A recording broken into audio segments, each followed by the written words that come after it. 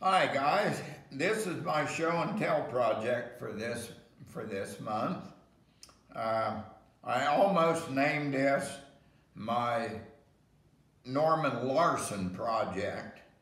For those of you that don't know who Norman Larsen is, he's the guy that invented WD-40. The WD stands for water displacement and the 40th stands for the 40th try of him trying to figure out the formula.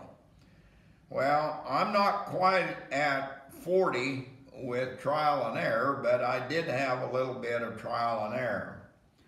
So what started me off on this was that I I raced for a number of years, built several race cars and one thing another over the years.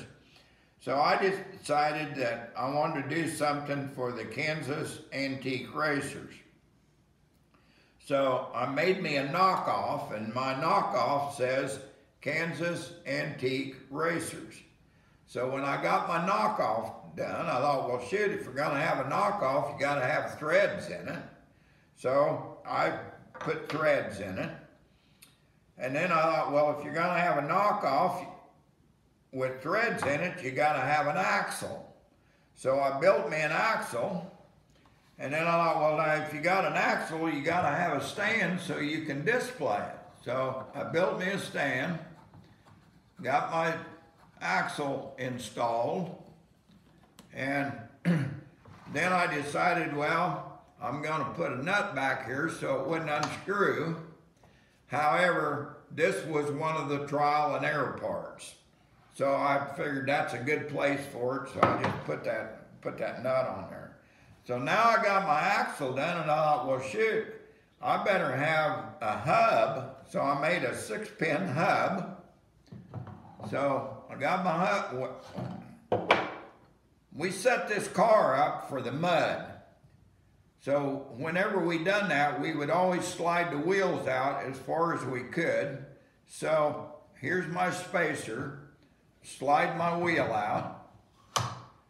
So I got my wheel, my hub, and I thought, well, gosh, I got to have a knobby, a mud tire. So I made me a tire. And then here's the other half of my six pin wheel. So that goes in there. Well, then when you got that done, you got to have a pressure plate so that when you put your knockoff on, it holds everything together. Here's our outside spacer, and here we'll put our knockoff on. And this is for you, Milo. It's left-handed threads.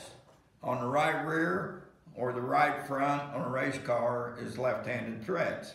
So I done left-handed threads. So I got that all done, and I thought, oh shoot, I ought to put something on the tire, like you know maybe maybe Goodyear or Firestone or uh, M&H or or something, and I no, I don't really want to do that.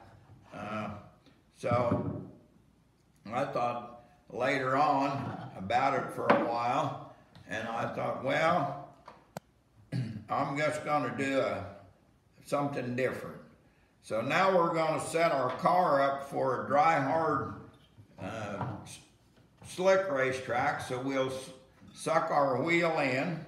And then my thought, well, I'm going to do a tribute to two of my friends that I raced with for a number of years that in the last two years, they have passed away. So I designed my my tire and wheel to uh,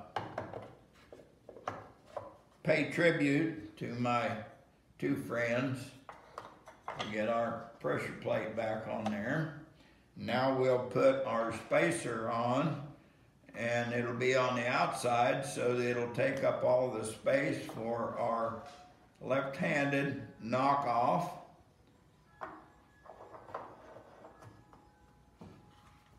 And let me get this around so you can read it all.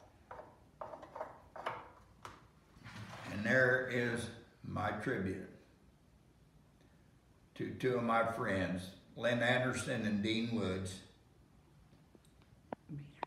Made it on the CNC. Oh, and by the way, all of this was done on my Maverick 3 by 5 and I used C-Cam to do all the turning and cutting of the threads and everything. Um, it, it, went, it went along pretty good and uh, so I, I don't know how long it took me because as I stated in the, in the video that you know, I done this, and I thought, well, I better go do this, and so uh, I it, it, took me a few days, but it's not like I worked on it eight hours a day, so uh, I I wouldn't know what it would be, and I would have I couldn't put a price on it. It was just made uh, kind of especially to make pay tribute to my friends.